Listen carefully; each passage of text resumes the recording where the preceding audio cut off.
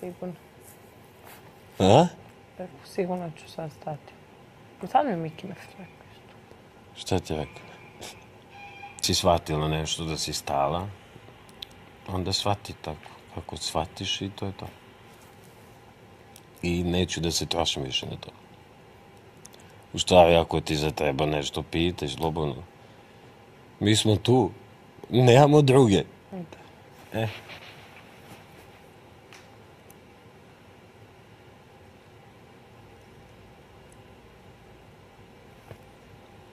Ima neke stvari koje prevazilaze neku zajebanciju igru.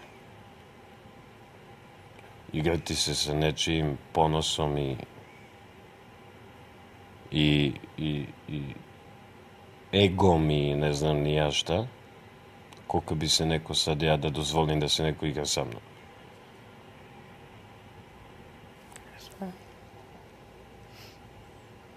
Da se on igra, da se ne igra, mene to ne interesuje. To vas dvoje najbolje znate, ne ja. Mene ne- ja sam te kušao, ja vas ne znam. E, a što, što vas imate, to vi imajte. I srećno vam bilo, i lepo. Ali ako te jednom, rekao sam ti, ono, uvijek će. A to znaš iz iskustva prethodno. Pa ti nastavi dalje. Rekla si da si stala, ali A možda ću sad.